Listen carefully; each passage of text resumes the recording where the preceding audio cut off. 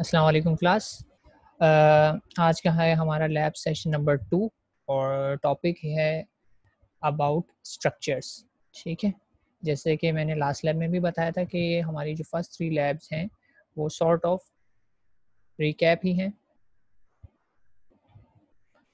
अच्छा वकार का कहना है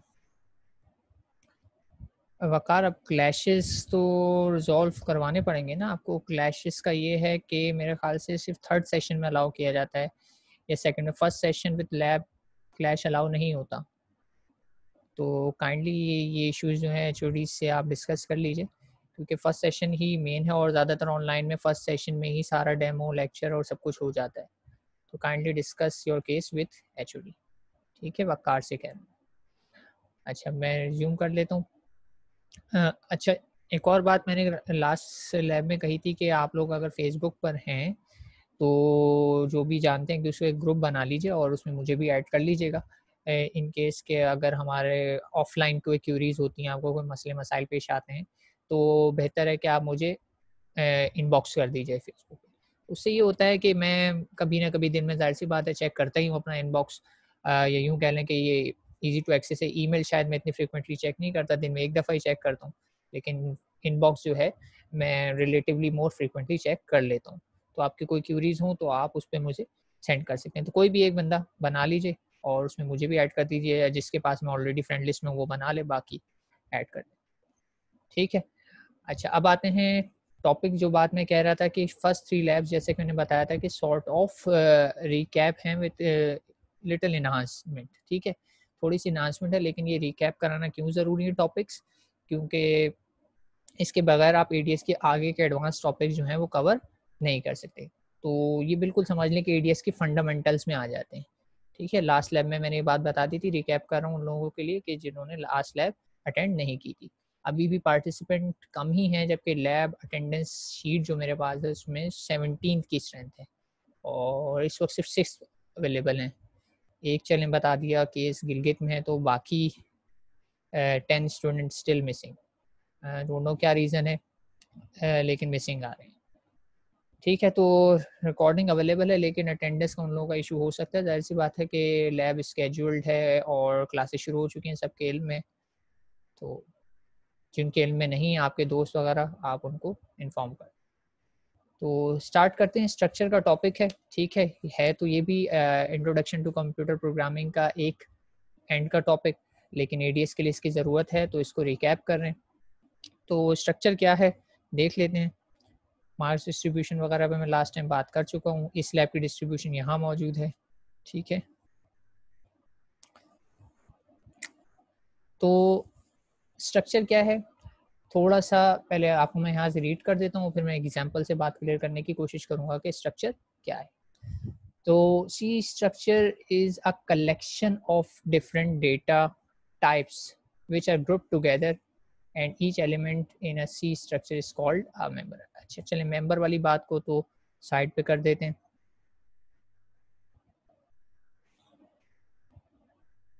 अच्छा अनम्यूट का एक मेरे पास फील कह रहे हैं कि अनम्यूट अनम्यूट मैं आपको कर दूँगा। जब आपको कोई क्वेश्चन हो तो आप हैंड रेस कीजिए ठीक है? तो मैं उस वक्त वन एट अ टाइम जो है आप लोगों को अनम्यूट कर दूँगा, क्योंकि सबको एक साथ अनम्यूट करने का मतलब ये है कि बैंडविथ काफ़ी कंज्यूम होगी तो हमारी जो है क्लास डिस्टर्ब हो सकती है, ठीक है? तो अगर आपको कोई क्वेश्चन हो तो आप हैंड रेस करें और मैं आपको अनम्यूट कर दूँगा, ठीक है?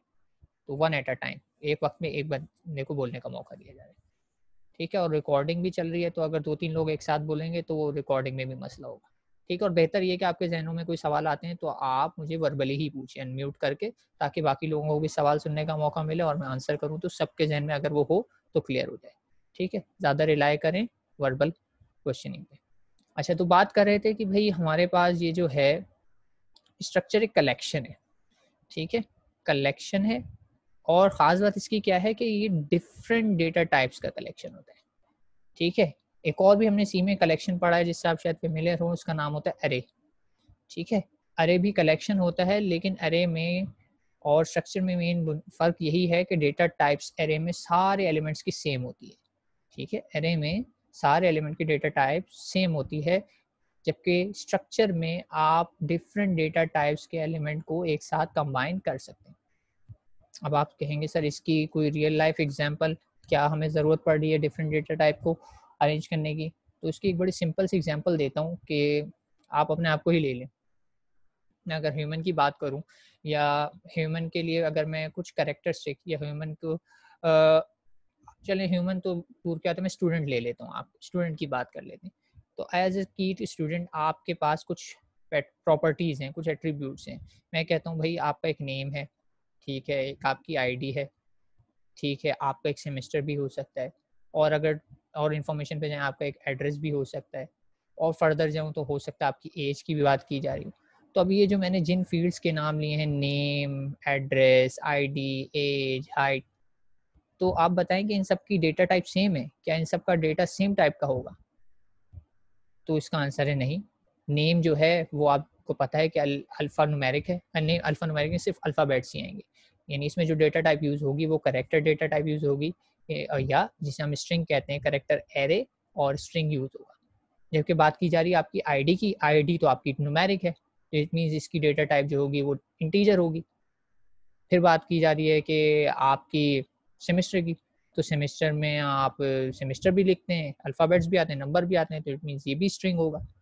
फिर हो सकता है कि आपकी सी जी पी ए मेंटेन की जा रही हो तो सी जी पी ए की बात करें तो सी जी पी ए तो पॉइंट्स में आती है डेसिमल पॉइंट्स में आ जाती है तो उसके लिए फिर आपको डेटा टाइप जो है फ्लोटिंग लेनी पड़ेगी। तो इट मीन्स अगर मैं स्टूडेंट की इन्फॉर्मेशन किसी एक एक जगह पे कंटेन करना चाहता हूँ तो मैं एरे यूज़ नहीं कर सकता। क्योंकि एरे यूज़ करने में तो लिमिटेशन क्या है कि सब एलिमेंट्स की या सब जो मेंबर्स हैं प्रॉपर्टीज़ हैं किसी भी ऑब्जेक्ट की, किसी भी रियल वर्ल्ड ऑब्जेक्ट की प्रॉपर्टीज़ को स्टोर करने के लिए मैं सिर्फ़ एरे यूज़ नहीं कर सकता, मुझे स्ट्रक्चर रिक्वायर्ड है। ठीक है डेटा स्ट्रक्चर कह लेंगे स्ट्रक्चर इन सी होता है, फिर यही कॉन्सेप्ट आगे चल के ऑब्जेक्ट ओरिएंटेड प्रोग्रामिंग में क्लास बन जाता है। ठीक है ऑब्जेक्ट ओरिएंटेड प्रोग्रामिंग में क्लास एंड ऑब्जेक्ट का कॉन्सेप्ट यूज़ होता है तो इसमें थोड़ी सी इन्हांसमेंट होती है और फिर वो जाके क्या बन जाता है क्लास बन जाता है। ठीक है तो स्ट्रक्चर रियल वर्ल्ड ऑब्जेक्ट या रियल वर्ल्ड की जितनी भी चीज़ें हैं, उसको रिप्रेजेंट करने के लिए आइडियल डेटा स्ट्रक्चर है, क्योंकि इसमें डिफरेंट डिफरेंट टाइप का डेटा स्टोर किया जा सकता है। ठीक है तो ये हो गई तमहीदी गुफ्तु जिसमें मैंने आपको इसकी इम्पोर्टेंस हाईलाइट कर दी कि भाई क्यों ज़रूरत है। ठीक है तो अब आप लोगों से थोड़ा सा फीडबैक ले लेता हूँ कि अगर किसी को कोई इससे रिलेटेड क्यूरी हो, कोई कन्फ्यूज़न है तो पूछ सकता है और नहीं है तो कोई सिग्नल दे मुझे, सर, कि क्लियर है, ताकि फिर मैं आगे बढ़ सकूँ।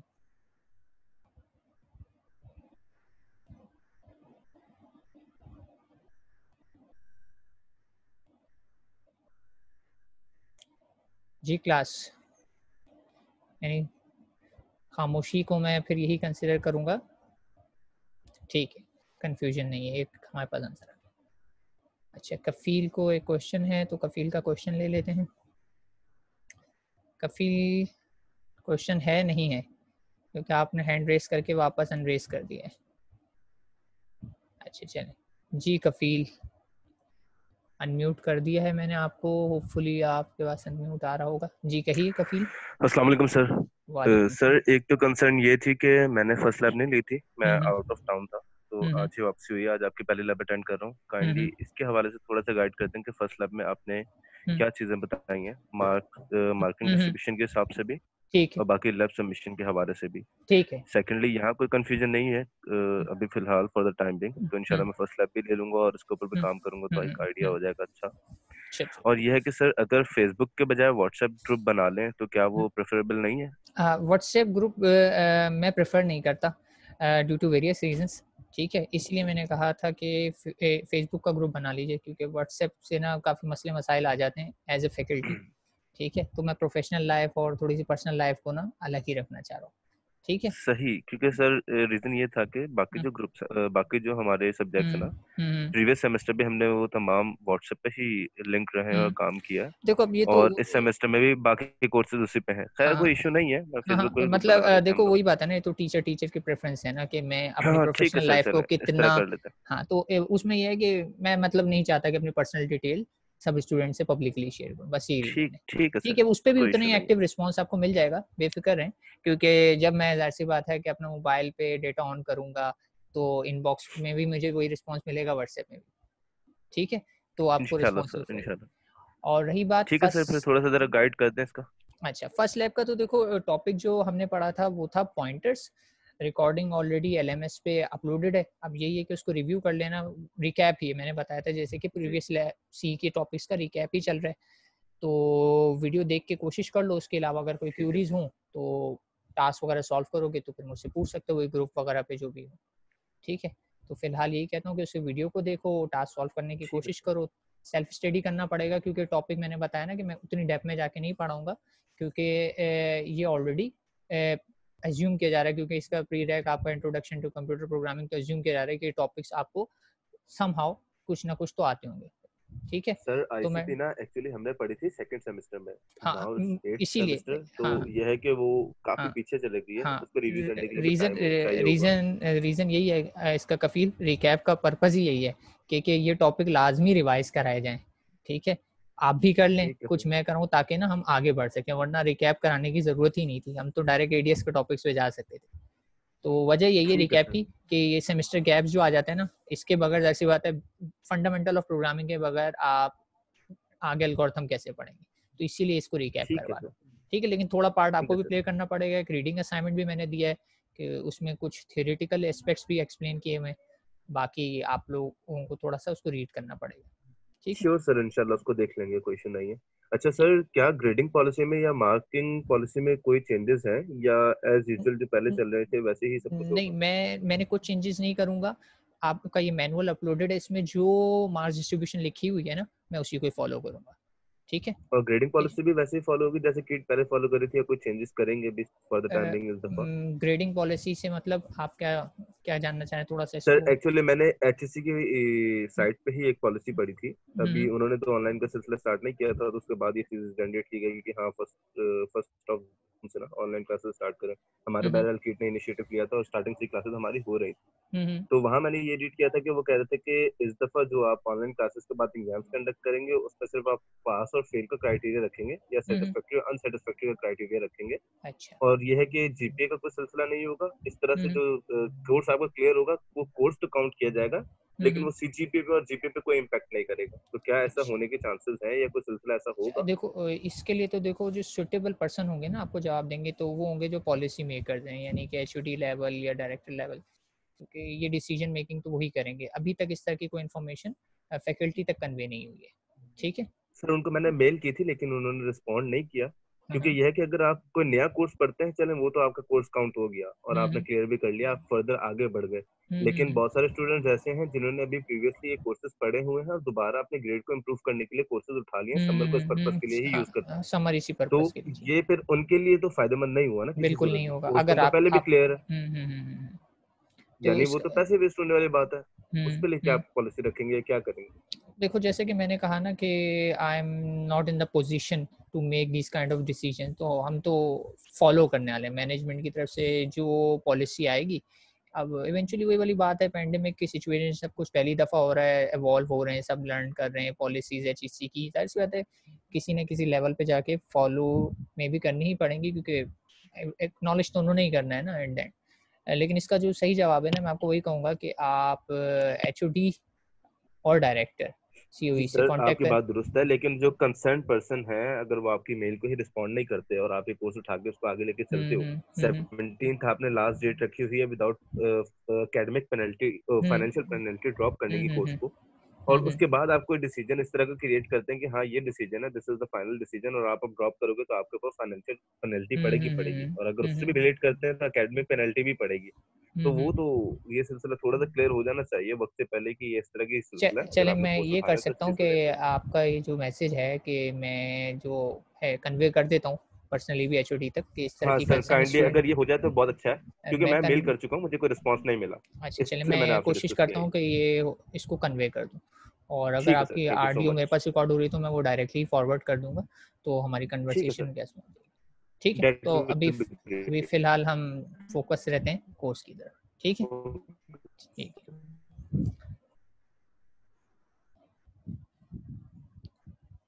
अच्छा तो बात हम कर रहे थे कि अच्छा मज़ीद हैंड रेज आ रहे हैं मेरे पास लेकिन क्यूरीज अगर रेलिवेंट हैं तो ठीक है। अगर इसी तरह की कोई क्यूरीज हैं तो फिर मैं माजरत कर लूँगा। जी, सफदर, कोई क्यूरी है सफदर?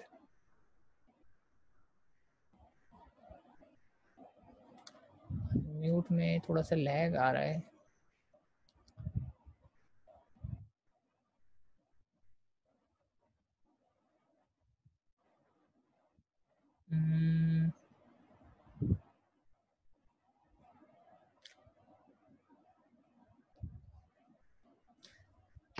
अस्सलाम सर। वालेकुम सलाम सफदर। जी कहिए सफदर। सर हमारा क्लेश का मसला रहा है कि एडीएस की लेब के साथ दोनों दिन की जो लेब है उसमें ई e थ्री का हमारा क्लेश आ रहा है पूरे पूरे तीन घंटे का। पूरे पूरे तीन घंटे? ये तो वही वाली बात है ना कि फिर तो शायद अलाउ ही नहीं किया जाएगा। पूरे पूरे तीन घंटे तो बड़ा मसला है। एक सेशन होता है ना तो अब अभी हम्म। जो हमारी ई e थ्री की भी क्लास चल रही है और अभी हमारी एडीएस की यही सीन हम्म। हमारे साथ मंडे वाली भी आईडी में हम्म। कि वो साढ़े बारह से साढ़े तीन बजे तक वो ई e थ्री की क्लास चल रही होती है हमारी अच्छा देखो सादत ने तो क्या सादत ने रजिस्टर तो कर दिया है तो अब हम क्या करें सर अच्छा चलो इसका फिर मैं ये देखता हूँ क्योंकि देखो लैब जो हमारी तकरीबन होती है ना वो तो डेमो ही है फिर हम परफॉर्मेंस तो इधर कर नहीं पाते तो लैब तकरीबन घंटे से डेढ़ घंटे में डेमो वगैरह कवर हो जाता है। अब तो इसका वजह से हमने हाँ हाँ। इसके लिए भी नहीं ले सके इस वजह से। अच्छा देखो अब इसका तरीका ये है कि अभी थोड़ा सेटल हो जाए रजिस्ट्रेशन वगैरह तो फिर इसके लिए हम स्पेशल परमिशन ले सकते हैं कि हम लैब ऑफ़िस आवर्स या किसी वक्त आपका फ्री स्लॉट हो फिर इस तरीके से सबके क्लास चेक करते हुए इधर उधर की जा सकते हैं। अभी अभी इट्स टू अर्ली होगा अभी नहीं कर सकते। अभी तो रजिस्ट्रेशन और इन्वॉल्वमेंट चल रही है। तो लेकिन आप अपना ये केस एच को फिर कहूँगा उनके इल्म में ले आए तो बेहतर ताकि आगे चल के आपके लिए आसानी हो जाए बैक रह के आपने इन्फॉर्म किया था उन्हें। ठीक है? ठीक है सर ठीक है थैंक यू सर अच्छा जी वापस आ जाते हैं। टॉपिक पे एडमिनिस्ट्रेटिव इश्यूज़ के क्यूरीज आ रही हैं मेरे पास। चलें। तो बात कर रहे थे स्ट्रक्चर्स की तो स्ट्रक्चर के थोड़े से सिंटेक्स पे बात कर लेते हैं।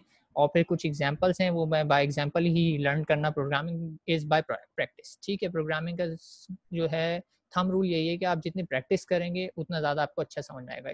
ये लर्न करना होता है बाय डूइंग ठीक है तो थोड़ा सा सिंटेक्स हाईलाइट कर देता हूँ, थोड़ा सा एक्सप्लेन कर देता हूँ, इसमें क्या क्या बातें बताई जा रही हैं, फिर उसके बाद हम डायरेक्टली एग्जाम्पल्स आ जाएँगे अच्छा बिल्कुल वैसे ही स्ट्रक्चर भी ज़ाहिर सी बात है, एक कह लें कि आपकी बनाया हुई डेटा टाइप या आपका बनाया हुआ कस्टम वेरिएबल है, ठीक है? और अगर आप कस्टम वेरिएबल को एक्सेस करना चाहते हैं तो आपको उससे पहले उसको डिक्लेयर करना है, ठीक है? अब बात रही इंट की करेक्टर की फ्लोट की, ये सब तो पहले से डिक्लेयर्ड है, ठीक है? ये तो नेटिव है नेटिव का मतलब ये लैंग्वेज का पार्ट है, ये पहले से डिक्लेयर्ड है लेकिन स्ट्रक्चर क्या है? मेरी रिक्वायरमेंट है। मैं चाहता हूँ कि कुछ मेरा कस्टम टाइप का डेटा जैसे मैंने अभी एक स्टूडेंट की एग्जांपल दी कि स्टूडेंट का उसमें नेम भी हो स्टूडेंट की उसमें आईडी भी हो, उसमें स्टूडेंट की सीजीपी भी हो। तो ऐसा कोई डिफ़ॉल्ट डेटा स्ट्रक्चर या डेटा टाइप सी सपोर्ट नहीं करता। तो डिक्लेयर ही नहीं है तो मैं उसको कंज्यूम नहीं कर सकता, उसको मैं यूज़ नहीं कर सकता। तो अगर मुझे उसे यूज़ करना है तो कह रहे हैं कि पहले तो आपको उसको सी में डिक्लेयर करना पड़ेगा। ठीक है? तो डिक्लेरेशन क्या है? अच्छा डिक्लेरेशन नीचे सिंटेक्स है लेकिन लास्ट लाइन भी रीड कर देता हूँ। Many structure variable can be declare from same structure and memory will be allocated for each separate अच्छा ये वाली बात क्या है? कि बिल्कुल वैसे ही कि इंट आईएनटी लिखना एक डेटा टाइप है। मेमोरी में इसकी डिक्लेरेशन मौजूद है, लेकिन ये एज सच जब आप प्रोग्राम लिख रहे हैं, आपने इंट अगर अपने प्रोग्राम में यूज़ नहीं किया तो ये आपके प्रोग्राम में कोई मेमोरी ऑक्यूपाई नहीं करेगा। लेकिन जैसे आपने लिखा आई एन टी एक्स अब x को आपने इंटीजर टाइप का क्रिएट किया तो x उतने स्पेस ले लेगा जितने इंटीजर ने लेना फिर आप y अगर डिक्लेयर करेंगे इंटीजर का तो y भी उतना स्पेस ले लेगा। तो अब जब आप डिक्लेयर करते जाते हैं तो ये स्पेस लेता जाता है, उससे पहले ये मेमोरी में कोई स्पेस नहीं रहेगा। अब इस बात के पीछे रीज़न क्या है, ये क्यों कहा गया? इसलिए कहा गया कि ये जो आपके पास यहाँ पे सिंटेक्स लिखा हुआ है, ये है स्ट्रक्चर की डिक्लेरेशन या कह लो स्ट्रक्चर को स्ट्रक्चर की डिक्लेरेशन का वेरिएबल डिक्लेरेशन की नहीं स्ट्रक्चर को डिक्लेयर करना, यानी कि आप किस स्ट्रक्चर का अपना वेरिएबल बना चाहें। तो ये मैं लिख भी दूँगा ना तो ये कोई मेमोरी ऐसे ऑक्यूपाई नहीं करेगा जब तक कि मैं इसको यूटिलाइज नहीं करूँगा अपने प्रोग्राम में। ठीक है? जब तक मैं इसे अपने प्रोग्राम में यूटिलाइज नहीं करूँगा। अच्छा तो सिंटेक्स पे थोड़ा सी बात कर लेते हैं। सिंटेक्स ये है कि यहाँ पे अच्छा ये ऊपर होगा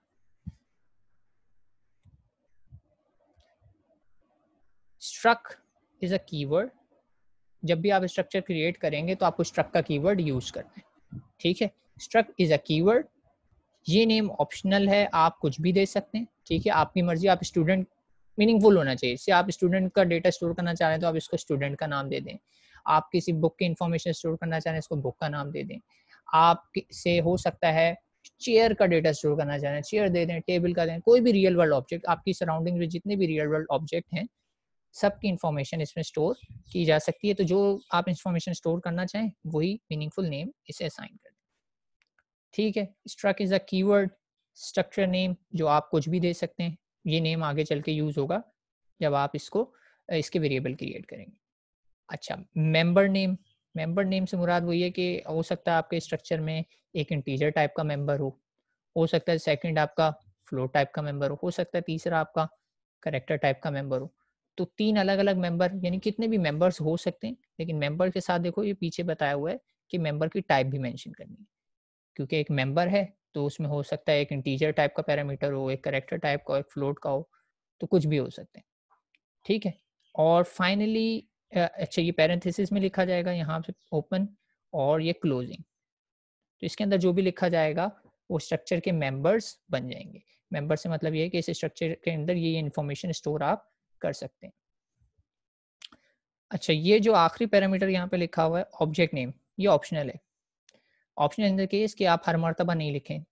लिखें ना लिखें, आपकी मर्ज़ी। यानी ये कह रहा है कि जब आपने एक स्ट्रक्चर को डिक्लेरेशन दी उसी वक्त उसी की एक इंस्टेंस या कॉपी भी क्रिएट कर ली in this form of variable तो ये ऑप्शनल है नॉर्मली रिकमेंडेड भी नहीं होता कि आप इसको शुरू में ही लिखें, क्योंकि इसका मतलब हो जाता है कि आपने ग्लोबल वेरिएबल क्रिएट कर लिया है। तो नॉर्मली हमें ग्लोबल्स इतना यूज़ नहीं करते क्योंकि वो इतना सेफ़ नहीं होता, ठीक है? तो एक रियल एग्जांपल दिखा देता हूँ ताकि ना ये सिंटेक्स की बात ज़्यादा क्लियर हो जाए। तो रियल एग्जांपल क्या है इसकी? थोड़ा सा नीचे देख लेते हैं। यहाँ पे पर्सन नाम का स्ट्रक्चर क्रिएट किया गया, ठीक है? स्ट्रक जैसे कि बताया कीवर्ड ठीक है? पर्सन मेरी मर्ज़ी का नाम मैं ये बताना चाह रहा हूँ कि इसके अंदर मैं पर्सन की कुछ इन्फॉर्मेशन रखना चाह रहा हूँ। ठीक है पर्सन की क्या क्या इन्फॉर्मेशन रखना चाह रहा हूँ? पर्सन का मैंने करेक्टर का एरे क्रिएट किया और उसको दे दिया नेम यानी इट मीन्स कि मैं इसके अंदर उस पर्सन का नाम स्टोर करना चाहता हूँ जब आगे चल के यूज़ करूँगा। Second C I T number पता नहीं सी आई टी है या सिटी नंबर लिखना चाह रहे हैं। आ, कोई दूसरी इन्फॉर्मेशन है जिसको मैंने ये बता दिया कि इसमें डेटा जो आएगा नुमेरिक आएगा। और तीसरी चीज़ मैंने बता दी है कि मैं पर्सन की क्या इन्फॉर्मेशन स्टोर करना चाह रहा हूँ सैलरी स्टोर करना चाह रहा हूँ और जो कि फ्लोटिंग डेटा टाइप क्योंकि फ्लोटिंग का मतलब है कि वो डेसिमल पॉइंट्स उसमें आ सकते हैं और डेट सेट यहाँ पे देखिए मैंने सेमी कॉलन लगा के इसे क्लोज कर दिया। अब अगर इसे मैंने यूज़ करना है तो आप नीचे देख रहे हैं कि मेन फ़ंक्शन में मैंने क्या किया हुआ है। ये लिखा मैंने पर्सन ठीक है? अच्छा स्ट्रक इससे पहले मुझे लिखना पड़ रहा है, अगर मेरी फ़ाइल की एक्सटेंशन ठीक है, यहाँ पे एक ज़रूरी बात सुन लें, अगर मेरी फ़ाइल की एक्सटेंशन डॉट सी है डेव सी दोनों तरह की फ़ाइल बनाता है डॉट सी भी बनाता है डॉट सी पी पी भी बनाता है।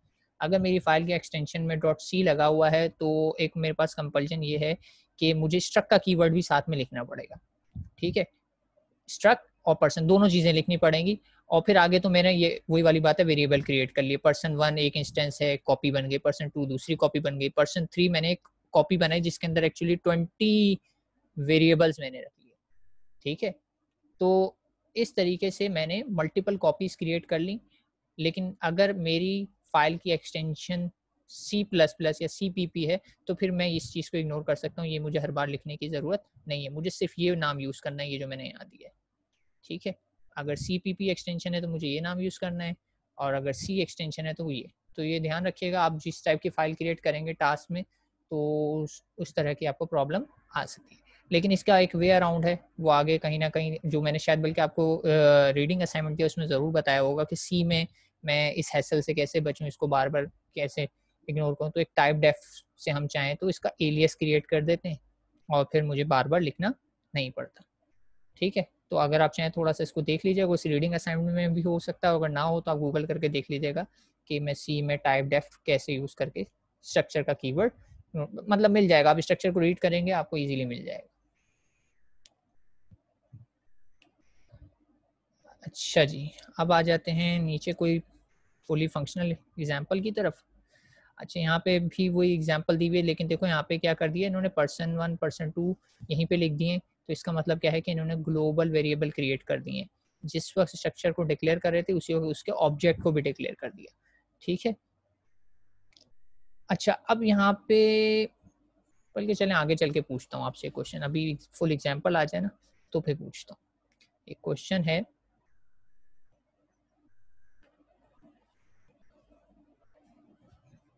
अच्छा चूँकि यहाँ पे मेरे पास टेन मिनट वाली जो है वो आ गई है। तो मैं काम ये करता हूँ कि अटेंडेंस ले लेता हूँ और फिर मीटिंग को हम रीस्टार्ट कर लेंगे। ठीक है तो मैं अटेंडेंस ले रहा हूँ। तो आप लोग अटेंटिव रहिएगा।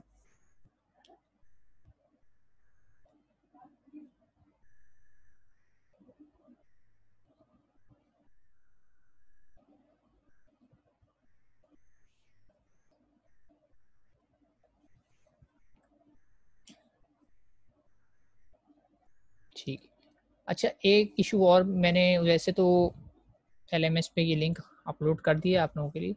आ, ये कि इन केस अगर आप लोग क्रोम यूज़ कर रहे हैं तो कभी कभी क्रोम जो है आप इस लिंक को क्लिक करेंगे तो कुछ भी ओपन नहीं होगा वो यहाँ पर देखेंगे तो पॉपअप ब्लॉक कर लेता है। ठीक है? लेकिन आप लोग अवेलेबल हैं तो आप लोगों को क्लियर होगा क्योंकि ये इशू नहीं आया होगा तभी आप लोग सेशन ले रहे हैं लाइव अगर आप लोगों का सेशन स्टार्ट ही ना होता तो ये इशू आता है, ठीक है? पॉपअप ब्लॉक हुआ हुआ है, अगर हुआ हुआ है तो आप उसको क्लिक करके यहाँ से अलाउ कर देंगे दिस पर्टिकुलर साइट तो फिर आपके पास ये लिंक ओपन हो जाता है, ठीक है? तो ये रेफरेंस भी मैंने दे दिए अटेंडेंस ले लिए तो अगर कोई क्यूरीज नहीं है तो यहाँ पर हम देते हैं थोड़ा सा ब्रेक और ब्रेक के बाद बस यूँ समझ लीजिए बस दो तीन मिनट के ब्रेक के बाद हम दोबारा से रिज्वाइन कर लेते हैं। ठीक है? अच्छा तो रिज्यूम कर लेते हैं क्लास ब्रेक से पहले हम देख रहे थे स्ट्रक्चर्स और हमने स्ट्रक्चर की थ्योरेटिकल एस्पेक्ट्स को कवर कर लिया था। अब देखते हैं स्ट्रक्चर विथ सम एग्जांपल अच्छा उससे पहले एक चीज़ और है थोरेटिकली थोड़ी सी बताई हुई है कि अगर आपने स्ट्रक्चर के किसी वेरिएबल को एक्सेस करना है तो आप यूज़ करते हैं डॉट नोटेशन या इसे कह रहे हैं मेंबर एक्सेस ऑपरेटर ठीक है?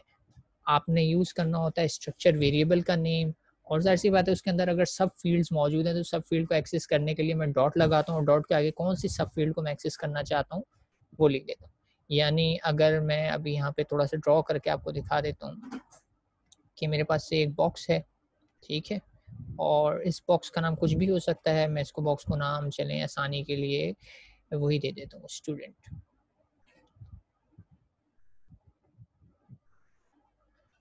मेरे पास स्टूडेंट है शॉर्ट ही लिख देते हैं एस ठीक है, और इसके अंदर तीन चीज़ें हैं। इसके अंदर इसका नेम है, इसके अंदर नेम मौजूद है। सेकंड चीज़ क्या मौजूद है? इसकी एस आईडी मौजूद है। स्टूडेंट की आईडी मौजूद है। ठीक है। स्टूडेंट की आईडी आ गई और एक चीज़ इसकी मौजूद क्या है? जीपीए मौजूद है। ठीक है तो मैं कह रहा हूँ मेरे पास एक डेटा स्ट्रक्चर है जिसका नाम है एस टी यू डी जिसके अंदर तीन पीस ऑफ़ इंफॉर्मेशन स्टोर कर रहा हूँ name S I D and C G P अब बात आती है कि अगर मैं इसको एक्सेस करना चाहता हूँ और मैं लिखता हूँ सिर्फ़ एस टी यू डी तो क्या मैं प्रिंट कराता हूँ इस चीज़ को? एस टी यू डी को आप मुझे बताएँ, क्या प्रिंटिंग में मेरे पास कुछ आएगा? क्या आएगा? अगर आएगा तो कुछ, वो क्या होगा? तो एस टी यू डी के केस में मैं प्रिंट कराता हूँ तो मुझे कोई यूज़फुल इन्फॉर्मेशन नहीं मिलेगी। क्योंकि मैं स्टूडेंट को प्रिंट नहीं कराना चाहता या तो मुझे कभी स्टूडेंट के नेम रिक्वायर्ड होगा, कभी उसकी एस आई डी रिक्वायर्ड होगी तो कभी उसका जी रिक्वायर्ड होगा। तो कह रहे हैं कि आप जिस पर्टिकुलर फ़ील्ड को एक्सेस करना चाहते हैं, आप उस स्ट्रक्चर का नेम फॉलोड बाय क्या कर दें डॉट लगाएँ और डॉट लगा के जिस फ़ील्ड को आप एक्सेस करना चाहते हैं, आप उसका नाम लिख दें। तो मैं यहाँ पे अगर एस लिख दूँगा तो इसका मतलब है कि मैं स्टूडेंट पूरा का पूरा जो मेरा डेटा स्ट्रक्चर है, उसमें से कौन सी फ़ील्ड को एक्सेस कर रहा हूँ, उसकी एस वाली फ़ील्ड को एक्सेस कर रहा हूँ। सिमिलरली मुझे जब नेम एक्सेस करना होगा तो student dot followed by name लिख दूँगा। इसी तरह सी पे एक्सेस करना होगा तो student dot followed by C पे लिख दूँगा। इट डजेंट मैटर कि मैं एक्सेस करके उसको रीड करना चाह रहा हूँ या राइट करना चाह रहा हूँ। अगर मैं यहाँ पे लिख दूँ equals to one zero one one तो इससे क्या होगा कि स्टूडेंट की एस आई वाली फ़ील्ड में one zero one one copy हो जाएगा, यानी उसकी आईडी की फ़ील्ड अपडेट हो जाएगी। तो ये भी किया जा सकता है, या ये हो सकता है कि मैं एस को सिर्फ़ प्रिंट करना चाह रहा हूँ, या ये भी हो सकता है कि एस को मैं डायरेक्टली स्कैन एफ़ में लिख लूँ। तो लिखने का तरीका ये है कि इसका मतलब ये है कि मैं इस फ़ील्ड की बात कर रहा हूँ। बस इस फ़ील्ड की बात कर रहा हूँ और इस फ़ील्ड के साथ मैं कुछ भी कर सकता हूँ। रीड करूँ राइट करूँ स्कैन करूँ प्रिंट करूँ, कुछ भी किया जा सकता है। लेकिन एक्सेस करने का तरीका क्या है? ये तरीका है। ठीक है? तो अब ये इन्फॉर्मेशन भी मुझे मिल गई कि एक इंडिविजुअल फ़ील्ड को कैसे मैं एक्सेस कर सकूँ। तो आगे बढ़ते हैं और अब एक रियल एग्ज़ाम्पल देख लेते हैं हमारे पास है। अच्छा इस प्रोग्राम में किन किन चीज़ों पे एम्फोसाइज किया गया है कि how to declare initialize and use structure in a program अब मैं यहाँ पे क्या करना चाह रहा हूँ? एक मैंने स्ट्रक्चर क्रिएट किया है, मैं हाईलाइट कर देता हूँ स्ट्रक्चर क्या है हमारे पास? स्ट्रक्चर है मेरे पास ये। ठीक है? और स्ट्रक्चर का आप देख सकते हैं स्ट्रक कीवर्ड मौजूद है बुक उस स्ट्रक्चर का नेम है। यानी मैं बुक्स नाम का एक स्ट्रक्चर बनाना चाह रहा हूँ और उसके अंदर मैं एक बुक से रिलेटेड ही कुछ ना कुछ डेटा से कुछ स्टोर करना चाह रहा हूँ। तो वो क्या डेटा है? बुक के अंदर मैं क्या क्या स्टोर करना चाह रहा हूँ? बुक के अंदर मैं एक चीज़ तो जी बुक का कह रहा हूँ टाइटल स्टोर करूँगा और टाइटल ज़ाहिर सी बात है नेम होगा और नेम करेक्टर डेटा टाइप में आता है और करेक्टर के एरे में आता है। तो मैंने करेक्टर का टाइटल ले लिया फिफ्टी करेक्टर्स में। फिर मैंने कहा ऑथर ऑथर भी ज़ाहिर सी बात एक नेम है तो इसकी डेटा टाइप भी करेक्टर एरे बन गई। फिर मैंने कहा सब्जेक्ट किस सब्जेक्ट की बुक है? ये इन्फॉर्मेशन भी मुझे देनी है फिजिक्स की है प्रोग्रामिंग की है मैथ्स की है, या आपकी इलेक्ट्रिकल की है, कोई भी बुक हो सकती है। तो उसके लिए भी मैंने सब्जेक्ट का नेम देना है यहाँ पर। या हो सकता है कंप्लीट सब्जेक्ट बता दूँ कि ये पूरी बुक का नाम क्या है। और इसके लिए मैंने हंड्रेड करेक्टर्स ले लिए, ठीक है? और लास्ट चीज़ जो मैंने रखी है, उसकी फ़ील्ड है, एक ही इंटीजर है और तीन समझ लें करेक्टर एरेज हैं और बुक की आईडी रख ली। आईडी ज़ाहिर से एक नुमेरिक वैल्यू है तो वो इंटीजर होगी। और दैट्स इट मैंने एक स्ट्रक्चर क्रिएट कर दिया। अब यहाँ पे थोड़ा सा मुझे आप लोगों से क्वेश्चन है, अब इसका आंसर आप चाहें तो टेक्स्ट में, मुझे चैट में भी दे सकते हैं। आपको पता है, अगर कहा जाए कि मैं कह देता हूँ कि एक इन्फॉर्मेशन ये है कि एक करेक्टर का साइज़ जो है, एक करेक्टर का साइज़ है, किसी को आइडिया क्या होता है? मेमोरी में कितने बाइट का होता है करेक्टर करेक्टर का साइज़ मेमोरी में कितने बाइट का होता है? जी क्लास कोई आंसर करना चाहेगा? करेक्टर का साइज़ क्या होता है? और इंटीजर का साइज़ क्या होता है? एनीवन कितने बाइट का होता है करेक्टर जी क्लास कोई आंसर देना चाहेगा? करेक्टर का साइज़ क्या होता है इन मेमोरी hmm, चलिए मैं ही बता देता हूँ। इट्स जस्ट वन बाइट एक करेक्टर जो होता है वन बाइट का है। ठीक है? इंटीजर डिपेंड करता है वैसे कंपाइलर पर लेकिन चलें to distinguish between integer and float हम कह देते हैं इंटीजर का साइज़ होता है से टू बाइट ठीक है, ये ज्यूम कर लिया हमने। टू भी हो सकता है फोर भी हो सकता है डिपेंड करता है आपका कंपाइलर वैसे आप कंपाइलर थर्टी टू बिट है तो इंटीजर का साइज़ फोर बाइट हो गया, क्योंकि thirty two bits means four bytes लेकिन टू मेक इट सिंपल मैंने इसको टू रख लिया। अब आप लोगों से एक सवाल ये है, बड़ा सिंपल सा सवाल ये है कि अगर मैं आपसे पूछूँ कि आप मुझे इस ओवरऑल स्ट्रक्चर का, इस पूरे का पूरे का साइज़ बताएँ बता सकते हैं? मतलब ये मेमोरी में कितनी जगह घेरेगा? मेमोरी में कितनी बाइट्स ऑक्यूपाई करेगा? सिंपल सी मैथमेटिक्स है, अगर आप करके मुझे बता सकें कि ये टोटल कितना स्पेस लेगा। जी, class. Waiting for the answer. कि ये बुक्स नाम का जो मैंने स्ट्रक्चर क्रिएट किया है, ये मेमोरी में कितना स्पेस लेगा।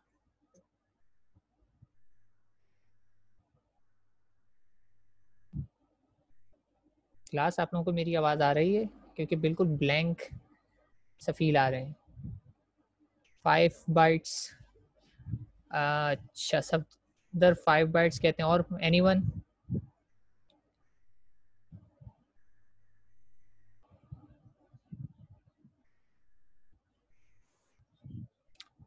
चलो मैं आंसर कर देता हूँ, ठीक है? सफदर ने फाइव जिस थ्योरी के तहत कहा है, वो ये है सफदर ने कहा ये भी वन ये भी वन ये भी वन और ये सफदर ने कर दिया टू तो ये सफदर ने बना दिया टोटल फाइव बाइट्स लेकिन सफदर ने यहाँ पे एक चीज़ मिस की है कि इंटीजर का जो वेरिएबल है, ठीक है, वो तो है एक ही। तो टू मल्टीप्लाई एक्चुअली हो रहा है किस फैक्टर से? टू मल्टीप्लाई हो रहा है फैक्टर वन से ही।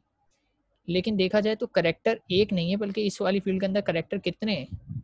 सौ हैं। तो ये वन जो है मल्टीप्लाई होगा किससे? सौ करेक्टर्स हैं यहाँ पे। एक करेक्टर नहीं है, बल्कि हंड्रेड और यहाँ पे अगर देखा जाए, यहाँ पे कितने? यहाँ पर फिफ्टी हैं। और इसके ऊपर देखा जाए तो कितने? यहाँ पर भी फिफ्टी हैं।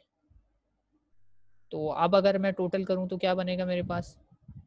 Fifty plus fifty multiply by one fifty fifty and hundred two hundred और टू मल्टीप्लाई बाई वन तो कितना बन जाएगा ये मेरे पास टोटल स्पेस टोटल स्पेस आ जाएगा मल्टीप्लाई होने के बाद two hundred and two two hundred and two bytes इसका आंसर आएगा।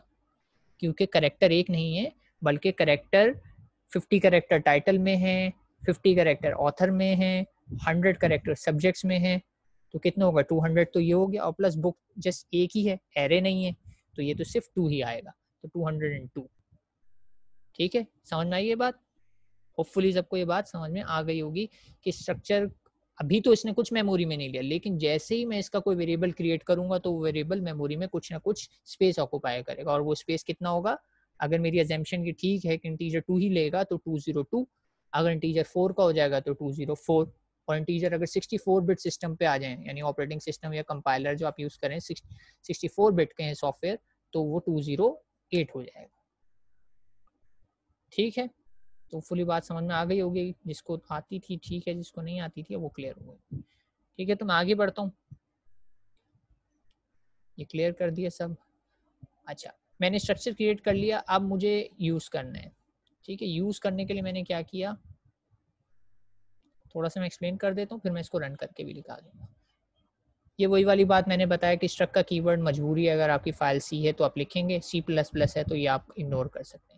ये वाला नाम जो लिखा हुआ है बुक ये मैंने नाम इधर यूज़ किया बुक्स ठीक है, मेरे स्ट्रक्चर का नेम और उसकी मैंने क्या क्रिएट कर ली? कॉपी क्रिएट कर ली या उसका ऑब्जेक्ट क्रिएट कर लिया या इन अदर वर्ड और सिंपल वर्ड में कहूँ, उसका मैंने एक वेरिएबल क्रिएट कर लिया। इसी तरह बुक्स का मैंने सेकंड वेरिएबल क्रिएट कर लिया बुक टू अब बुक वन और बुक टू ने मेमोरी ऑक्यूपाई कर लिया और दोनों की मेमोरी क्या होगी? वो जो अभी हमने नंबर निकाला two zero two two zero two book one ने स्पेस लिया होगा और टू ज़ीरो टू ही बुक टू ने स्पेस लिया होगा। ठीक है? अब बुक वन और बुक टू आ गए मेरे पास, ठीक है? अब मुझे क्या करना है? मैंने यूज़र से इनपुट नहीं लिया, लेकिन हार्ड कोड कर दिया अपना, अभी का डेटा हार्ड कोड कर दिया। मैंने कहा कि बुक वन की टाइटल फ़ील्ड ये देखो डॉट लगाया हुआ है बुक वन की टाइटल फ़ील्ड में क्या चीज़ कॉपी हो जाए? सी प्रोग्रामिंग ठीक है? सी प्रोग्रामिंग मैंने डबल कोड्स के अंदर लिखा इट मीन ये एक स्ट्रिंग है, और मैं फ़ंक्शन यूज़ कर रहा हूँ यहाँ पे एक्चुअली स्ट्रिंग कॉपी का।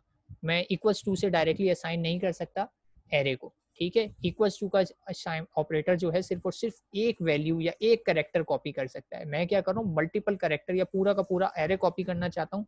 तो स्ट्रिंग लाइब्रेरी का एक बिल्टन फ़ंक्शन है। आप देखेंगे ऊपर मैंने स्ट्रिंग डॉट एच लिख के ऐड कराया हुआ है। तो स्ट्रिंग लाइब्रेरी का एक फ़ंक्शन जो है स्ट्रिंग कॉपी इसका काम क्या होता है? जो भी कंटेंट इस कॉमे के बाद लिखे हुए वो कॉपी होकर कहाँ चले जाएँगे? इसके अंदर चले जाएँगे। तो इसमें क्या हुआ? बुक वन के टाइटल में मैंने सी प्रोग्रामिंग कॉपी कर दिया। सिमिलरली नीचे वाले में देखें तो आप, मैंने एक नोहा अली नाम जो है ऑथर में कॉपी कर दिया। फिर सिमिलरली सब्जेक्ट में भी मैंने इसी तरह कुछ ना कुछ कॉपी कर दिया। सब्जेक्ट में भी मैंने कुछ ना कुछ कॉपी कर दिया। लेकिन बुक की आईडी में आप देखें, मैंने क्या यूज़ किया है? इक्वल टू का ऑपरेटर क्योंकि ये सिंगल वेरिएबल सिंगल वेरिएबल के लिए मैं सिंपल इक्वल्स टू यूज़ कर सकता हूँ। लेकिन मोर देन वन वेरिएबल को अगर एक साथ कॉपी करना है तो मैं इक्वल्स टू से नहीं कर सकता। तो या तो इसका तरीका क्या है कि मैं एक एक करके करेक्टर बाय करेक्टर कॉपी करना शुरू करूँ। पहला वाला पहले प्लेस पे, दूसरा वाला दूसरे प्लेस पे, तीसरा वाला तीसरे प्लेस पे। या आसान तरीका ये है कि मैं बना बनाया स्ट्रिंग कॉपी का फ़ंक्शन यूज़ कर लूँ और वो खुद ब खुद ये डिटेल का ध्यान रख लेगा कि पहला वाला पहले की प्लेस पे, दूसरा वाला दूसरे की प्लेस पे एंड सो ऑन एंड तक पूरा का पूरा कॉपी कर देगा। तो इन, इस लाइन में मैंने जो है क्या किया, बुक वन के लिए डेटा फिल कर दिया। उसको मैंने टाइटल भी दे दिया, उसको मैंने ऑथर भी दे दिया, उसको मैंने सब्जेक्ट भी दे दिया और उसको मैंने कोई ना कोई आईडी भी असाइन कर दी। ठीक है? सिमिलरली यही काम मैंने बुक टू के लिए भी किया। सेम कोड है, बस बुक वन की जगह मैंने क्या लिख दिया बुक टू लिख दिया। बुक टू को भी एक टाइटल दे दिया, बुक टू को एक ऑथर भी दे दिया, बुक टू को एक सब्जेक्ट भी दे दिया और बुक टू को एक आईडी भी दे दी। ठीक है? अच्छा ये देख रहे हो ना, नाम में title author subject book ID वो यूज़ कर रहा हूँ जो मैंने यहाँ पे डिक्लेयर किए मैं ये मैं चेंज नहीं कर सकता। बुक आईडी ही लिखूँगा सब्जेक्ट ही लिखूँगा ऑथर ही लिखूँगा और टाइटल ही लिखूँगा। और ये सब केस सेंसिटिव है। यानी मैं कैपिटल टी नहीं कर सकता अगर मैंने स्मॉल लिखा था। ठीक है टाइटल में अगर टी स्मॉल है तो बिल्कुल एग्जैक्टली वही स्पेलिंग लिखती है क्योंकि C language is case sensitive ठीक है बुक वन और बुक टू के अंदर मैंने डेटा इंसर्ट कर दिया। ठीक है अब वही वाली बात है, मैंने लिख तो दिया, इसके अंदर डाल तो दिया वेरीफाई भी करना ज़रूरी है। वेरीफाई कैसे होगा कि मैं इसे प्रिंट करा के देख लेता हूँ? अगर प्रिंट करने के बाद अगर ये डिस्प्ले हो जाता है आउटपुट स्क्रीन पर तो इसका मतलब क्या है कि ये मैंने सही स्ट्रक्चर को एक्सेस करना सीख लिया है। स्ट्रक्चर के अंदर डेटा इसी तरीके से कॉपी पेस्ट किया जा सकता है। तो मैं इसको क्लियर करके नीचे आ जाता हूँ। नीचे कोड को देख लेते हैं क्या क्या है। नीचे सिर्फ़ और सिर्फ़ मेरे ख्याल से प्रिंट ही हुआ हुआ होगा। अब आप देखें मैंने प्रिंट लगाए हुए ठीक है? प्रिंट एफ़ लगाए हुए हैं। ये बुक वन के लिए है। अच्छा प्रिंट एफ़ में ध्यान रहे, मैंने यूज़ किया percent S percent S use होता है करेक्टर एरे के लिए, या यूँ कह लो स्ट्रिंग के लिए। ठीक है परसेंट एस इस टाइटल के लिए भी लगाया है परसेंट एस ऑथर के लिए भी लगाया है परसेंट एस सब्जेक्ट के लिए भी लगाया है, और इंटीजर के लिए यूज़ होता है परसेंट डी होगा क्या? बुक टाइटल मैंने यहाँ पर लिखा है तो बुक टाइटल के अंदर जो भी वैल्यू होगी वो आके इस जगह पर रिप्लेस हो जाएगी जब ये स्टेटमेंट एग्जीक्यूट होगा। इसी तरह जब बुक वन ऑथर होगा तो वो रिप्लेस हो जाएगी इस जगह पर। इसी तरह जब बुक आईडी होगा तो वो रिप्लेस हो जाएगी इस जगह पर। ठीक है, वो फुली प्रिंट के स्टेटमेंट से आप लोग फेमिलियर होंगे। अगर नहीं है तो थोड़ा रिकॉल कर लीजिएगा। तो ये प्लेस होल्डर्स होते हैं। तो परसेंट डी बता रहा है इस जगह पर जो वैल्यू प्लेस होने वाली है, वो कौन सी प्लेस होगी? बुक वन की बुक आईडी सिमिलरली यही काम मैंने बुक टू के लिए किया और इस प्रोग्राम को जब मैं रन करूँगा तो मेरे पास क्या होगा? देख लेते हैं। रन करके इस प्रोग्राम को, इस प्रोग्राम को रन कर लेते हैं। तो ये प्रोग्राम मैंने ऑलरेडी दोबारा लिखना ना पड़े तो अभी क्लास से पहले मैंने इनको फाइल्स में पहले ही लिख लिया। ठीक है, ये प्रोग्राम है, आप चाहें तो वेरीफाई कर सकते हैं। वही है बुक वन वही है बुक टू और वही प्रिंट एफ़ की स्टेटमेंट और इस प्रोग्राम को जब मैं रन करता हूँ तो आप इसका आउटपुट देख सकते हैं। बुक वन का टाइटल वही आ रहा है, जो मैंने कॉपी किया था उसके अंदर। देखें C programming Noha Ali C programming tutorial और I D B six four nine five four zero seven similarly इसका चेक कर लें telecom billing Zara Ali telecom billing tutorial और six four nine five seven double zero तो आपने ये देखा कि मैंने सक्सेसफुली एक स्ट्रक्चर बनाया इस एग्ज़ाम्पल में और उसके अंदर डेटा को किस तरीके से कॉपी किया जा सकता है, यानी राइट किया जा सकता है और प्रिंट में मैंने उसको रीड करके भी देख लिया। तो इस एक्सरसाइज का पर्पज सिर्फ़ और सिर्फ़ यही था कि फेमिलराइजेशन विद डॉट नोटेशन और मैं स्ट्रक्चर बनाकर सेम नेम के बैनर तले, यानी अंडर द सेम बैनर उसकी अलग अलग सब फील्ड्स को कैसे एक्सेस कर सकता ठीक है? जैसे कि मैंने बताया कि रियल वर्ल्ड सारी की सारी ऑब्जेक्ट बेस ही है। रियल वर्ल्ड में एक ऑब्जेक्ट की मल्टीपल प्रॉपर्टीज़ होती हैं। इन जनरल भी अगर आप बुक उठाएँगे तो बुक पे आप देखेंगे कोई ना कोई टाइटल भी लिखा हुआ है, उसके ऊपर कोई ना कोई ऑथर भी होगा और बुक सब्जेक्ट भी होगा, किसी सब्जेक्ट को बिलोंग करती होगी। और लाइब्रेरी की बात कर रहे हैं बुक का प्रोग्राम लाइब्रेरी के लिए तो बुक को एक आईडी भी असाइन कर देते हैं, जिसकी बेस पे वो डेटाबेस में एंट्री करते हैं कि ये बुक की ये आईडी है। ठीक है? तो ये वाली एग्जांपल होपफुली क्लियर हो गई होगी। अगर किसी को इस एग्जांपल में कोई क्यूरी है तो वो पूछ सकता है। फिर अगर नहीं है तो फिर हम आगे बढ़ेंगे। तो इसी एग्ज़ाम्पल को मैंने ये रन करके दिखा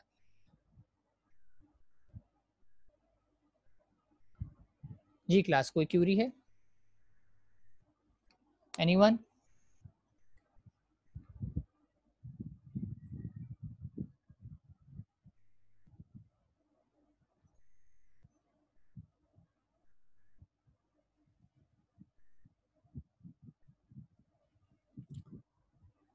चलें, ठीक है, मैं ज्यूम कर लेता हूँ, कोई क्यूरी नहीं है, क्योंकि कोई क्यूरी नहीं आ रही। आगे बढ़ते हैं। अच्छा अब बात आ गई सेकंड टॉपिक है स्ट्रक्चर एज फ़ंक्शन आर्गूमेंट यानी स्ट्रक्चर तो ठीक है, हम सीख गए। लेकिन कह रहे हैं स्ट्रक्चर को मैं एज फ़ंक्शन आर्गूमेंट यानी मैं किसी दूसरे फ़ंक्शन को पास कर सकता हूँ। फ़ंक्शन की आपको पता ही है कि इम्पोर्टेंस ये है कि रीयूजिबिलिटी कि मुझे सेम काम बार बार ना करना पड़े। और अभी पिछली एग्जांपल में हमने सेम काम बार बार किया है। हमने दो फ़ंक्शंस को जो है प्रिंट वाले कमांड है, अगर आपने देखे तो एग्जैक्टली सेम थी। प्रिंट एफ़ इसको देख सकते हैं आप। मैं ऊपर दिखा देता हूँ आपने एग्जैक्टली सेम क्या किया आपने एग्जैक्टली सेम ये किया है कि अगर आप देखें तो यहाँ पे ये वाले प्रिंट एफ़ स्टेटमेंट ये वाले प्रिंट स्टेटमेंट भी एग्जैक्टली सेम है ये वाले प्रिंट एफ़ से। सिर्फ़ फ़र्क क्या है कि ऊपर बुक वन है तो नीचे बुक टू है। सिर्फ़ ये फ़र्क है। तो बुक वन के लिए और बुक टू के लिए आपने एग्जैक्टली सेम काम किया है। तो मैंने कहा कि मैं ये बार बार क्यों कर रहा हूँ? हो सकता है बुक थ्री आ जाए, फिर आगे बुक फोर आ जाए तो ये लाइन रिडेंडेंट है। सेम चीज़ें मुझे बार बार लिखनी पड़ रही सिर्फ़ बदल क्या रहा हूँ? Book one book two book three नाम बदल रहा हूँ। मैंने कहा, आसानी क्यों ना करूँ मैं? एक एक ही मरतबा ये काम कर लूँ। मुझे पता है, मुझे बार बार करना पड़ रहा है तो मैं इसको फ़ंक्शन में कन्वर्ट कर देता हूँ। और फ़ंक्शन में ज़ाहिर सी बात है, जब मैं बुक वन की रेफरेंस से फ़ंक्शन कॉल करूँगा तो बुक वन के लिए प्रिंट कर देगा बुक टू की रेफरेंस के लिए कॉल करूँगा तो बुक टू प्रिंट कर देगा। तो मैंने अपने प्रोग्राम में थोड़ी सी चेंजेस करी। चेंजेस क्या करी कि ये वाली लाइंस अपने कोड से हटा दी और ये नीचे कोड थोड़ा सा मॉडिफाई हो गया। ठीक है आउटपुट इसका स्टिल वही रहेगा, क्योंकि कुछ नहीं होगा। अच्छा फ़र्क क्या आया? वही मेन प्रोग्राम देखें आप, बिल्कुल वैसे ही मैंने ये लाइन भी बिल्कुल सेम एज इट इज़ वही लिखी हैं। ये लाइन भी सेम एज इट इज़ वही लिखी हैं। ये लाइन भी सेम एज इट इज़ वही लिखी है। लेकिन यहाँ पे सिर्फ़ जो है, मैंने क्या किया है, एक फ़ंक्शन कॉल कर दिया है प्रिंट बुक का। और उसको क्या पास कर रहा हूँ? एक मरतबा बुक वन पास कर रहा हूँ और एक मरतबा क्या कर रहा हूँ? बुक टू पास कर दूँगा। तो इससे क्या होगा कि वही फ़ंक्शन कभी बुक वन का डेटा प्रिंट करा देगा और वही फ़ंक्शन कभी बुक टू का डेटा प्रिंट करा देगा। तो पूरे उसमें चेंज क्या रहा है कि मैंने एक ये फ़ंक्शन बना दिया प्रिंट बुक वन और प्रिंट बुक टू ध्यान रहे बुक वन और बुक टू कॉपीज हैं किसकी? बुक टाइप के डेटा की। ठीक है? तो अगर मैं ये काम करता हूँ तो क्या होगा? और ये काम करता हूँ तो क्या होगा? अच्छा आपको पता है कि जब मैं फ़ंक्शन की बात करता हूँ अच्छा इसको ऐसे ले लेते हैं कि मेमोरी बना लेते हैं। ठीक है। और मेमोरी में मैंने यहाँ रख लिया ऐसे सिंप्लिसिटी के लिए मेरे पास है। एक और ये दो और ये तीसरा मैं थोड़ा नीचे करके बना ले। ठीक है।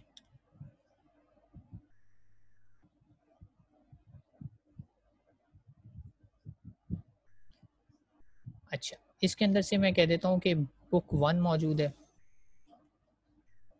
इसके अंदर मेरे पास बुक वन है। ठीक है?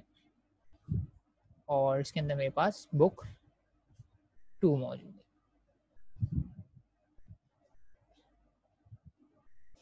बुक वन है एंड बुक टू ठीक है, ये दो वेरिएबल मेरे ऑलरेडी क्रिएटेड है। लेकिन अगर आप ध्यान दें तो ये नीचे मैंने एक और वेरिएबल लिखा हुआ है जिसका नाम है सिर्फ़ बुक तो यहाँ पर क्या मौजूद है? एक बुक नाम का वेरिएबल भी मौजूद है। अच्छा मैंने बुक वन बुक अंदर लिख दिए। चलो खैर, इसको बाहर लिख देता हूँ। वैसे दोनों नाम जो होते हैं, बाहर ही आते हैं। बुक का नाम सिर्फ़ और सिर्फ़ यहाँ। बुक स्मॉल में लिखा हुआ है, मैं स्मॉल में लिखूँ बुक ठीक है बुक सॉर्ट ऑफ़ एक टेम्पररी कंटेनर है, जो कि किसमें मौजूद है? फ़ंक्शन के अंदर मौजूद है। तो जब मैं फ़ंक्शन कॉल करूँगा ये वाला प्रिंट बुक बुक वन तो होगा क्या? कि बुक वन ऑटोमेटिकली कॉपी होके कहाँ चला जाएगा? इस जगह पे चला जाएगा और यहाँ पे कौन सा आ रहा होगा इस वक्त? बुक वन और सारे काम जो भी बुक के नाम से मैं करूँगा बुक और बुक वन आर इक्वल होगा एक तरीके तो बुक के नाम से जो भी मैंने करना है, वो सबका सब किस पे एक्चुअली हो रहा होगा? बुक वन पे हो रहा होगा। सिमिलरली जब मैं यही फ़ंक्शन बुक टू के रेफरेंस से कॉल करूँगा तो बुक टू का वैल्यू जो है कॉपी होके किसमें चली जाएगी? इसमें चली जाएगी बुक में। तो इधर क्या आ जाएगा? बी टू आ जाएगा। और जब इधर बुक टू आ जाएगा तो जो भी मैं प्रिंट एफ़ कराऊँगा या जो भी काम करूँगा बुक के नाम से तो एक्चुअली बुक और बुक टू इक्वल हो चुके हैं। तो इसमें क्या हो जाएगा? बुक टू की वैल्यूज़ आई हुई होंगी तो प्रिंट एफ़ का स्टेटमेंट बुक टू के लिए काम करेगा। तो इसको भी रन करके देख लेते हैं, लेकिन उससे पहले एक चीज़ मैं हाईलाइट कर देता हूँ। चूँकि फ़ंक्शन यहाँ पर आ गया है तो फ़ंक्शन जब भी मेरे पास आता है तो फ़ंक्शन के तीन पार्ट होते हैं। तो फ़ंक्शन को मुझे सबसे पहले करना पड़ता है डिक्लेयर डिक्लेयर में मैंने फ़ंक्शन को अपनी मर्ज़ी से कोई भी नाम दिया। नाम देने के बाद ये वॉइड मुझे ये बता रहा है कि मेरा फ़ंक्शन सिंपल है, कुछ भी डेटा रिटर्न नहीं करेगा, कोई भी रिज़ल्ट रिटर्न नहीं करेगा।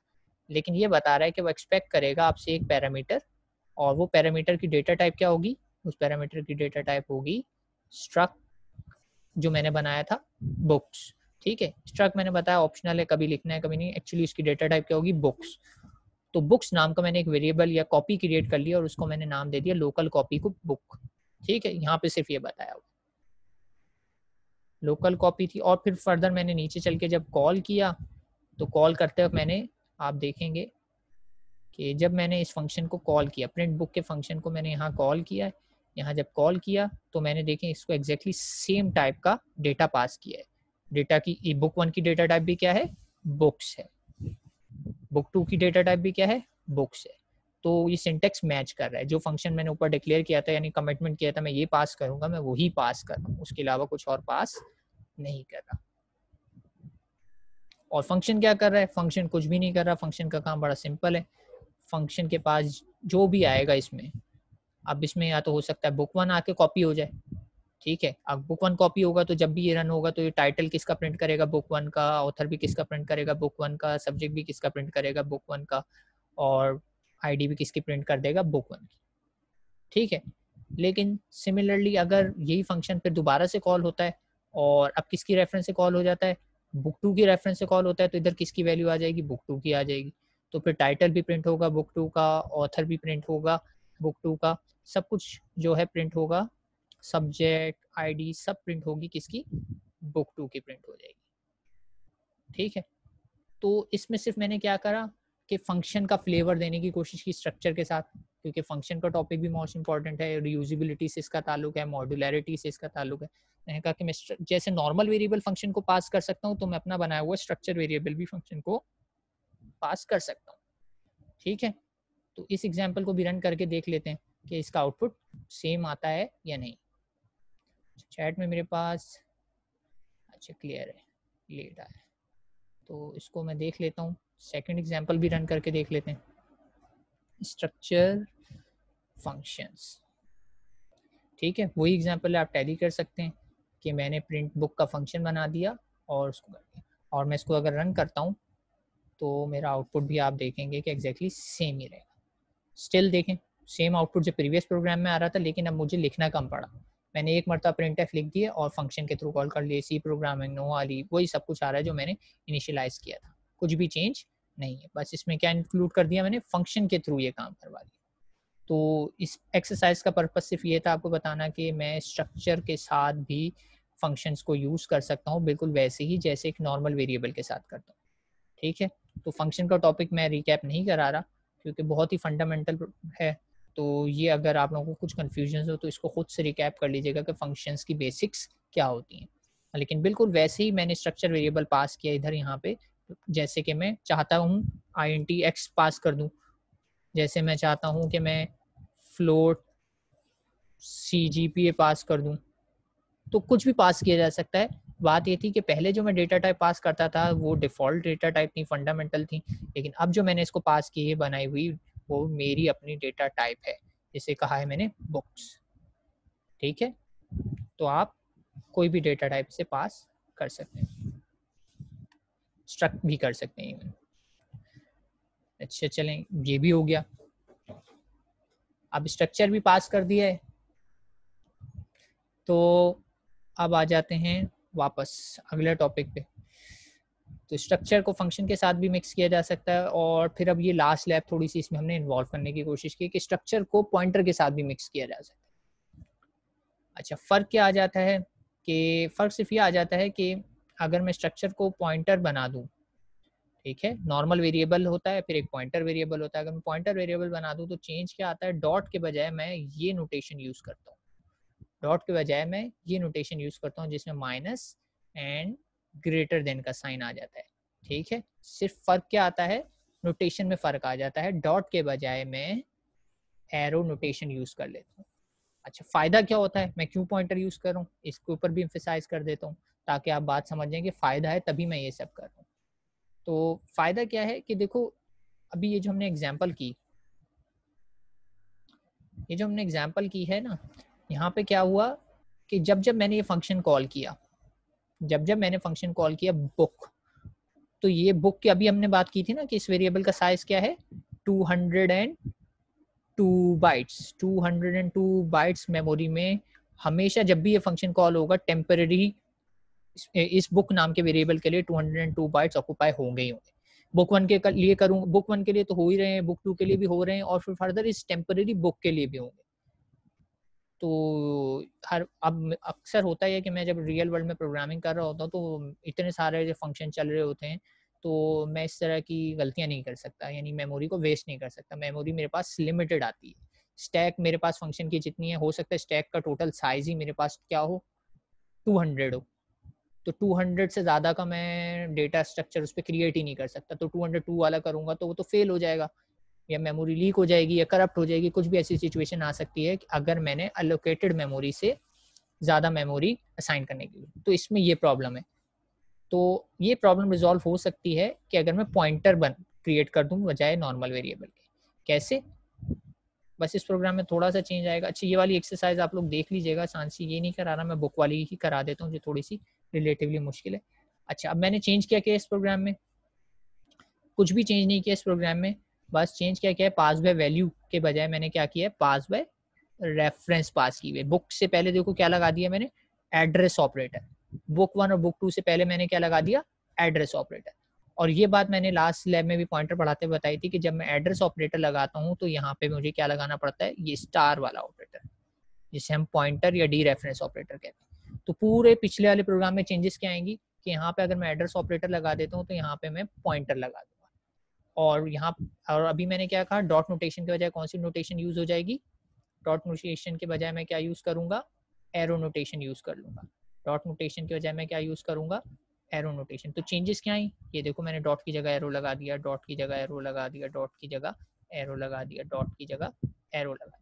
और यहाँ पे चूँकि मैंने एड्रेस ऑपरेटर यानी एड्रेस पास कर एड्रेस स्टोर करने के लिए मुझे स्पेशल वेरिएबल क्रिएट करना पड़ता है, वो होता है पॉइंटर, यानी मुझे अपने बुक से पहले स्टार लगाना पड़ेगा। पूरा प्रोग्राम मैं रन करके दिखा देता हूँ पहले, फिर बताऊँगा कि इससे अचीव क्या हुआ। अच्छा अचीव क्या हुआ, वो देख लेते हैं। अच्छा पहले ये रहा हमारा स्ट्रक्चर पॉइंटर वाला प्रोग्राम ये मैंने इसको करा एफ़ एलेवन और ये भी आउटपुट मेरा एग्जैक्टली exactly सेम रहा। ठीक है? आउटपुट में मेरा कोई फ़र्क नहीं आया, लेकिन अब मैंने ये काम पॉइंटर से किया है। पॉइंटर से किया है तो देख लेते हैं। देखो, इस प्रोग्राम को ध्यान दो तो बस मैंने यहाँ पे देखो स्टार लगा दिया डिक्लेरेशन में भी। तो यहाँ पे जब मैंने इधर भी लगा दिया स्टार ठीक है, ये चेंज आया। क्योंकि मैंने यहाँ पे लगाया था एड्रेस ऑपरेटर एड्रेस ऑपरेटर का मतलब है मैं एड्रेस पास कर रहा हूँ एड्रेस पास कर रहा हूँ तो मुझे वो पॉइंटर में ही स्टोर करना पड़ता है। और बाकी मैंने क्या बताया था डॉट नोटेशन के बजाय मैंने एरो नोटेशन यूज़ कर अच्छा इससे पहले वाले प्रोग्राम में और इसमें क्या फ़र्क है ये देख लेते हैं। मे बी यहाँ पे शायद वो चीज़ क्लियर हो जाए मैं जो मैं बताना चाह रहा हूँ। हम्म, हम्म। अच्छा स्ट्रक्चर विथ फ़ंक्शन भी आ गया। स्ट्रक्चर विथ फ़ंक्शन को अच्छा मैं इसको रन करता हूँ। और क्लोज 129 और इसको अगर मैं रन करता हूँ। ठीक अच्छा अब अगर आपको मैं इधर ही ये बात प्रूफ करना चाहूँ तो देखें आउटपुट का साइज़ यहाँ पे एक चीज़ आ रही है आउटपुट का साइज़ जब मैंने इस प्रोग्राम को रन किया, कौन से वाले को? स्ट्रक्चर विथ पॉइंटर को। ठीक है, मैं दोबारा से रन करके दिखा देता हूँ कि ये पॉइंटर वाला ही है। ठीक है, यहाँ पे भी क्लियरली पता लग रहा है कि पॉइंटर वाले को जब मैंने रन किया तो साइज़ मेरे पास आ रहा है 128.97 K B 128 something K B आ रहा है। लेकिन यही प्रोग्राम जब मैंने विदाउट पॉइंटर यानी नॉर्मल तरीके से रन किया। नॉर्मल तरीके से रन किया तो अगर आप देखें तो यहाँ पे आ रहा है 129.48 देख रहे हैं मेमोरी का फ़र्क आ रहा है। मेमोरी ऑक्यूपाई जो हो रही है, उसका फ़र्क आ रहा है with pointer and without pointer output remain same लेकिन जो पॉइंटर वाली अप्रोच है, उसमें मैंने कुछ ना कुछ अपनी रैम को सेव किया है। ठीक है, ये चीज़ आप यहाँ से भी देख सकते हैं कि आउटपुट में जो मेरा साइज़ आ रहा है, वो पॉइंटर वाले प्रोग्राम का कम आ रहा है और फ़ंक्शन वाले प्रोग्राम का ज़्यादा आ रहा है। यानी जो बात मैं अभी आपको समझाना चाह रहा था कि ऐसा क्यों कर रहे हैं, वो बात यहाँ पे इस सॉफ्टवेयर के थ्रू भी प्रूव हो गई कि दोनों ने अलग अलग मेमोरी ऑक्यूपाई की है और आउटपुट दोनों का सेम ही है। ठीक है? ये बात समझ में आ गई आप लोगों को? तो ये तीनों एग्ज़ाम्पल भी ट्राई कीजिएगा, इन दोनों को हैंड्स ऑन क्लियर करने के लिए और फिर इसके बाद हमारी लैब में और कुछ नहीं है। बस ये तीन टॉपिक थे और उसके बाद में थोड़ा सा टाइम हमारे पास कम है तो मैं टास्क को एक्सप्लेन कर देता हूँ। फिर उसके बाद अगर आप लोगों की क्यूरी हो तो वो ले लूँगा। अच्छा टास्क मैंने जैसे कि लास्ट लेम में भी बताया था, आप आप लोगों की मर्ज़ी, आप सॉफ्टवेयर पे तो सॉल्व होंगे ये ठीक है? बगैर सॉफ्टवेयर के आप कर नहीं सकते। सॉफ्टवेयर के बाद आप लोगों की मर्ज़ी ये है कि आप स्नैपशॉट लेके वर्ड फ़ाइल पे पेस्ट कर दें या पूरा का पूरा कोड कॉपी पेस्ट करके मुझे दे दें, कोई हर्ज नहीं है। ठीक है, लेकिन सबमिट कराने से पहले वर्ड फ़ाइल को पीडीएफ में कन्वर्ट कर लीजिएगा, मुझे रिक्वायर्ड पीडीएफ है। क्योंकि उसमें क्या होता है फॉर्मेटिंग चेंज नहीं होती वर्ड में आप कुछ और फॉर्मेट भेजें, मेरे पास कुछ और रिसीव हो स्नैपशॉट इधर उधर हो जाती है तो वो थोड़ा मसला क्रिएट करता है। तो सबमिशन पीडीएफ कराइएगा, ये आपकी चॉइस है कि आप पूरा का पूरा कोड कॉपी पेस्ट करना चाहते हैं या स्नैपशॉट लगाना चाहते हैं, ये मसला नहीं। मैं तो कोड ही चेक करूँगा डेफिनेटली वो स्नैपशॉट से मिल जाए या जैसे भी मिल जाए। कुछ चीज़ें कोड में चेक करने के। ठीक है? लैब टास्क भी सबमिट होगा होम भी लैब ज़ाहिर सी बात है, अब लैब फिजिकली नहीं हो रही है तो मैं अभी चेक नहीं कर सकता तो ये भी होम टास्क के साथ ही सबमिट होगा। तो थोड़ा सा मैं इसे एक्सप्लेन कर देता हूँ, क्या करना है। अच्छा लैब टास्क क्या है जी? पहला कह रहे हैं कि write a program using structure that takes two distances in inch in feet अच्छा अब इसमें क्या है? कह रहे हैं कि आपको डिस्टेंस नाम का एक स्ट्रक्चर क्रिएट करना है उसके अंदर सिर्फ़ दो ही फ़ील्ड है। इंचेस हैं और फीट हैं। सही है? और करना क्या है? उस स्ट्रक्चर को यूटिलाइज ऐसे करना है कि प्रोग्राम के अंदर दो डिस्टेंसेस लेने हैं। डिस्टेंस वन और डिस्टेंस टू और आपस में उनको ऐड करना है। और फाइनली जो डिस्टेंसेस का सम आएगा, यानी इंचेस में इंचेस ऐड हो जाएगी फीट में फीट ऐड हो जाएगी। और लेकिन ये ध्यान रखना है कि फीट जब ट्वेल्व से बढ़ जाती है तो वो इंक्रीमेंट हो जाता है किसमें? इंचेस में। ठीक है? यानी थर्टीन फीट का मतलब होगा one inch one feet fourteen अगर आपके फीट से आ जाते हैं तो इसका मतलब होगा वन सॉरी इंचेस और फीट अपोजिट कर गया twelve inches make a feet ठीक है? फुट तो अगर इंचेस आपकी फोर्टीन हो जाती हैं तो आप फोर्टीन इंचेस शो नहीं कराएँगे, बल्कि आप इंक्रीमेंट कर देंगे फीट में प्लस वन और इंचेस रह जाएगा टू तो आपको थोड़ी सी लॉजिक लगानी है वन पॉइंट फाइव मार्क्स इसके. दूसरा प्रोग्राम क्या है कि कॉम्प्लेक्स नंबर कॉम्प्लेक्स नंबर आपको अच्छे से पता है कि उसमें भी एक रियल पार्ट होता है और एक इमेजिनरी पार्ट होता है. ठीक है? तो आप इसमें क्या करेंगे कि स्ट्रक्चर बनाएँगे कॉम्प्लेक्स नाम का और वो स्टोर करेगा रियल इन्फॉर्मेशन एंड इमेजिनरी और इसमें भी वही करना है कि दो नंबर्स लेने हैं, उनको ऐड करवाना है। एडमिशन बड़ी आसान है रियल में रियल ऐड हो जाएगा। इमेजिनरी में इमेजिनरी लेकिन यहाँ पे ध्यान क्या रखना है आपको, ये काम फ़ंक्शन के थ्रू करना है। यानी एक फ़ंक्शन बनाएँगे ऐड नाम का, उसको आपको दो कॉम्प्लेक्स नंबर पास करेंगे तो वो आपको कॉम्प्लेक्स नंबर ही रिज़ल्ट में रिटर्न कर देगा। ठीक लैब टास्क रिलेटिवली इतने मुश्किल नहीं है होम टास्क थोड़े से चैलेंजिंग होते हैं। पहला टास्क है कि एक आपको स्ट्रक्चर ही क्रिएट करना है, ठीक है? हो सकता है आपको ज़्यादा लगे, लेकिन एक वीक है आपके पास सबमिट कराने के लिए और ये पुराने ही टास्क हैं। आईसीपी के तो अगर कहीं से आपको मिल भी सकते हैं, हो सकता है पुराने आपने सॉल्व किए तो टाइम पीरियड टाइम में क्या आता है? आर आता है मिनट आता है सेकंड्स आते हैं। दो टाइम पीरियड लेने, लेकिन अब मैंने एडिशन नहीं करा रहा। मैं कह रहा हूँ, मुझे दो टाइम पीरियड के दरमियान डिफरेंस चाहिए। यानी कि पहले टाइम से दूसरे टाइम तक कितना टाइम गुजर चुका है। जैसे यहाँ पे एग्ज़ाम्पल दी हुई है कि पहला टाइम अगर बारह बज के, बारह बज के चौंतीस मिनट और पचपन सेकंड था, दूसरा आठ बज के बारह मिनट और पंद्रह सेकंड तो इन दोनों का डिफरेंस जो है, वो आ रहा है चार घंटे बाईस मिनट और चालीस सेकेंड ठीक है? तो ये एक सैंपल दिया हुआ है कि इस तरीके से आपको आउटपुट इसका डिस्प्ले कराना है। अच्छा इसके बाद दूसरा सवाल, मुश्किल नहीं है, दूसरे सवाल में ये फ्रैक्शन दिया हुआ फ्रैक्शन समझते हो न्यूमरेटर एंड डिनोमिनेटर फ़र्स्ट करो, ये लिखा हुआ है ट्वेल्व ओवर नाइन तो मुझे इसको मैं ज़्यादा से ज़्यादा किस स्मॉलेस्ट नंबर तक डिवाइड रिड्यूस कर सकता हूँ? तो ये आपको पता है कि क्या होगा कि इसको मैं थ्री थ्रीज कर सकता हूँ और इसको मैं कर सकता हूँ तो आपको कुछ ऐसा करना है कि इवेंचुअली जो आपका आंसर बचे न्यूमरेटर और डिनोमिनेटर में वो ये आ जाए। यूज़र ने एंटर किया ट्वेल्व एंड नाइन तो आपने फाइनली इसको सिंप्लीफाई करके ले गए। रिड्यूस करते हुए स्मॉलेस्ट पे या लोएस्ट पे फोर बाय थ्री इसका आंसर आ जाएगा। सही है? तो इसको थोड़ा सा रिसर्च कीजिएगा टेक्निकलिटी इसमें है आ, कि फ्रैक्शंस को कैसे करना है मैथमेटिक्स थोड़ी सी अप्लाई कीजिएगा हो जाएगा। या एक हिंट दे देता हूँ आप इन दोनों में से जो सबसे छोटा वाला है ना बारह और नौ को देखें अगर फ़र्स्ट करें बारह और नौ यूज़र ने एंटर किया है तो नौ के रिस्पेक्ट से आप डिवाइड करना शुरू करें और एक एक माइनस करते जाएँ करते जाएँ करते जाएँ जहाँ पे दोनों कम्प्लीटली डिविजिबल हों। आपने देखा कि नाइन भी और ट्वेल्व भी दोनों डिविजिबल हो गए किससे? थ्री से। तो थ्री से आप दोनों को डिवाइड कर देंगे तो फोर और थ्री ही आ जाता है हमारे पास। ठीक है इस तरह के कुछ इसमें लॉजिक लगेगी। और लास्ट वन आसान ही है। बस आपको पीरियोडिक टेबल के एलिमेंट जो हैं फैमिली ए के वो स्टोर कराने इस स्ट्रक्चर में। ये सोडियम की एग्जांपल दी हुई है। आपको बस स्टोर कराने और उसके बाद प्रिंट करा के दिखा देने। पीरियोडिक टेबल सामने रखिएगा बस डेटा एंटर करते जाइएगा और कोई डेटा वापस प्रिंट है। ठीक है तो टाइम ऑलमोस्ट अप होने वाला है। लेक्चर हमारा यहीं तक था। Till next time signing off. अल्लाह हाफिज़।